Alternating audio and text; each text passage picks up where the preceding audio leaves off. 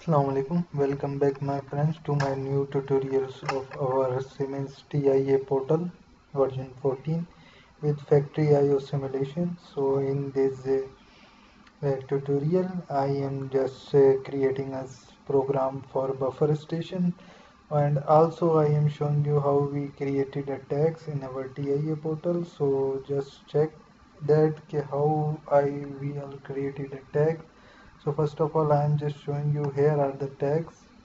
You will see the counter tags. I am going to just delete it. You will see the counter DINT and QD38 I am also show you in our factory IO so I am just going to my PLC thing you see counter DINT and is double integer and QD38 so we created a tag in it? So I just you can see it is deleted I will name it a counter and uh, I just name it uh, DINT double integer and you will see that it is QD38 so exactly same we are going to when we need a real so I just going to there select real and QD30 and if we are going to use our boolean integer so we use just stop blade you will see q 0.0 same as i 0.7 so you will see the q 0.0 as a stop plate and as a boolean you will see i will select it from there so as a boolean. So i am now going to going to my main object so you will see it is our main object is ready. Now i am going to open add a new block so i am going to add a new block which is function called and i am just using as a buffer station so I'm just write as a buffer station. You will see buffer station and okay now our new block is created. So that's on and now I'm just show you where is the buffer station. So you will see here is an uh, uh, our digital sensor which is also as an NC sensor. It is also as an NC sensor. So we control our conveyor from our uh, that the potentiometer. You will show that the potentiometer I am just going to open it. You will see the potentiometer is working. So he we will increase and decrease our speed. It is there. Here is an emergency button. And either our digital display for our counter for our reading. And here is an auto manual button. We only created a program for only auto. So you will see we working of only auto so just I am going to create a program. First I need an auto. So I use an auto. And then I need another I'm just going to start. And I am going to set what I need to set. What I am going to set our start light. Because uh, we need to show that our start light is working. And also we need to set our stop blade so I am going to set a stop blade and I am going to need another and I'm just using the move. So we also use move set we need we also use move from there you will see it there and it is a move. The move block is also there. So I am just need to move 3.0 to our uh, QD30 what is our QD30 sorry. Uh, our tag is created? I'm just going to run QD30 oh, QD30 and which is our buffer conveyor? Now our QD30 is now I'm going to make a program for stop. And I'm just using the auto. And you will see a stop and I'm just uh, what I am going to set as the stop light and reset our start light. So reset start light. And also I just need to reset it there our start light. So start light resetting start light. Oh sorry stop light. Stop light. And now I'm just directly move. Which thing we need to move we need wall plug and I'm going also use a move. I also need there so I just need a move. So move. 0.0 in both conveyor one conveyor is buffer conveyor so you will see buffer conveyor. And also we need to move our QD34 so what is our QD34 the QD34 is our exit conveyor. Now I'm just uh, add another and I'm just select an auto. And I need a rising edge. So what uh, I'm going there and select as a rising edge and I'm just use it at buffer entry. And I'm just using the tag in 0.0 so I, you will see how we name it. So I'm just click it rename a tag. And I'm going to name it uh, buffer uh, buffer entry and name it uh, I'm going to name it buffer entry memory bit. So I'm just using the memory. And now I'm just uh,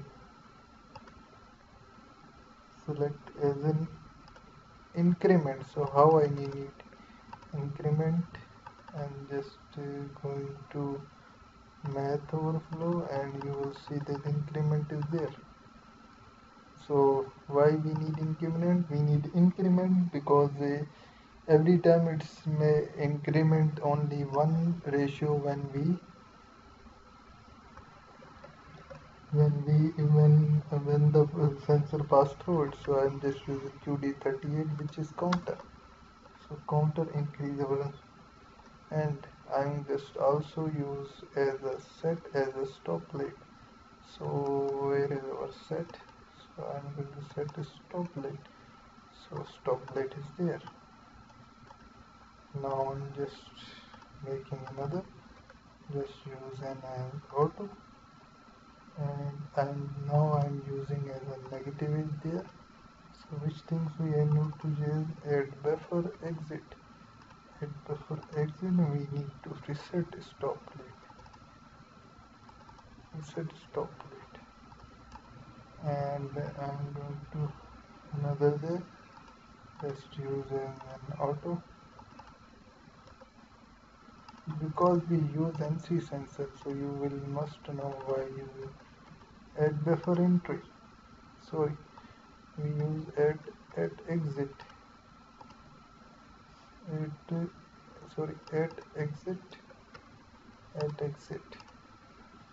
Now we need to set our stop lead again now I just it is my going to my last command. I'm just using when not to. And uh, just will remove that our stop button is on. And now I'm just directly use move. So move. And our potentiometer input. You will see that the potentiometer input what is our potentiometer input? Is buffer well and buffer our potentiometer input. So we use a buffer. You will see buffer our potentiometer input. And also the QD34 and what is QD34 is our exit conveyor. And now I'm just compiling it. Going to buffer station select it to there again I'm just using the testing change environment call environment transfer adjusted to main because it's only read only on main. So I'm just again compiling it. I'm just save my project and start my simulation. So my simulation you will see now going to start. It is now loading our so we will see our program is working or not I just created a handmade so I just uh, because you know if any problem there we, we try to remove them. So if any problem in our uh, programs it will show us when we compiling it when we try to check it. So we are going to load it. And configure PLC why our PLC is configured now it is configured. Now I'm just going to configure and you will see our setting is correct. Uh, just deforestation and,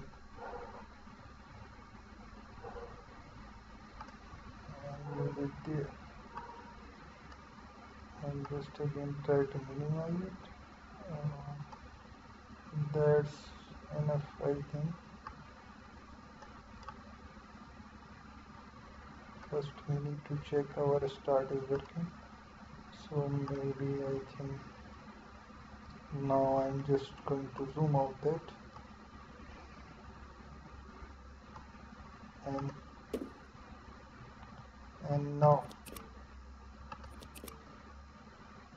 so I'm just forget to make an auto now it is auto mode we'll see auto is working. And now you will see our start button is working and our 3.0 when it touches the conveyor it will stop. And because we forget to increase our speed so when we increase our speed you will see it is now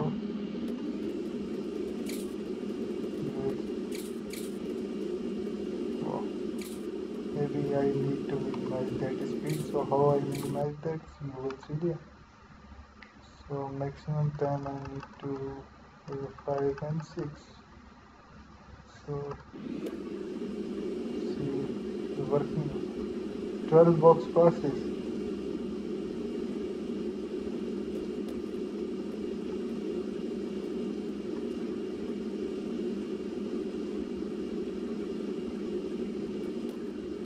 but buffer value value is that so you will see where is our buffer value. You will see counter increment then you will also see the working of our buffer. That buffer is working or not. So you will see the setting of stop delete and reset set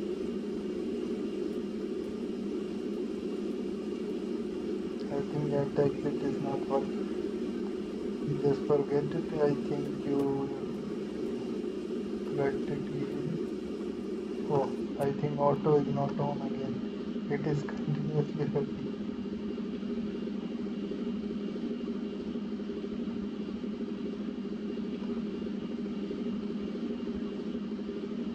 Maybe our potentiometer speed. Sorry, I again forget that. Now I'm going to show you. Here is our, you will see the 10.0 we are going to move. So I'm just try to minimize it. You will see it is now speed going to 7 and I'm just again the 3.3 the both speed are same so you will see it is working so I just don't make a complex program so I just I remove error from it very easily but you can you will remove that. I will just make it to show you that how it is working. So thank you very much for watching my videos. Please subscribe my channel like my videos and comments if you don't understand anything. Uh, i give in the descriptions i uh, give links of my of my InduSoft SCADA and uh, Ignition SCADA tutorials and any others tutorials of our factory IO or TIA portal PLC sim so you will see it from there. And also in the description I gave my WhatsApp number my email and um, and more uh, details over LinkedIn. So you will follow me on the LinkedIn and WhatsApp me or contact me on email if you want to done any other thing so we I am as the same name as a Facebook so if you will try to connect me make a message then I will inshallah I will respond to you. So thank you very much again.